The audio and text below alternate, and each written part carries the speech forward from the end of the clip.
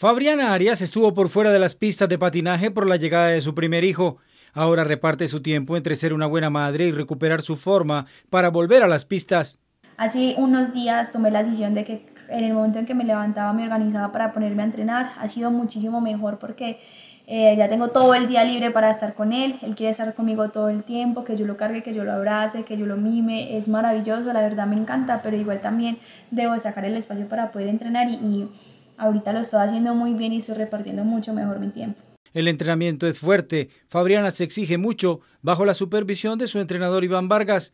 Cuenta con varias herramientas para lograrlo. Haciendo puros ejercicios con teraba, con elásticos. Ya tengo la fortuna de tener una barra con pesas acá en la casa, entonces también puedo ya eh, hacer un poquito más de fuerza.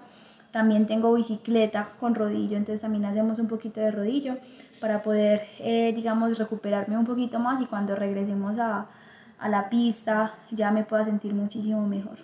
Como cualquier ser humano se preocupa por la emergencia sanitaria que estamos viviendo. Expreso un mensaje cariñoso para la gente. Debemos aprovechar este momento que Dios y la vida nos está regalando de quedarnos en la casa con los nuestros, con nuestra familia, con las personas que nos aman y que han estado siempre ahí y que muchas veces no pasamos tiempo con ellos. Qué bonito poder disfrutar de ellos y qué bonito que en unos años podamos decir gracias por ese tiempo que tuvimos para conocernos más, para disfrutarnos más, para amarnos más. La múltiple campeona mundial de patinaje está de vuelta con la meta de volver a celebrar esta vez al lado de su nuevo amor, su bebé.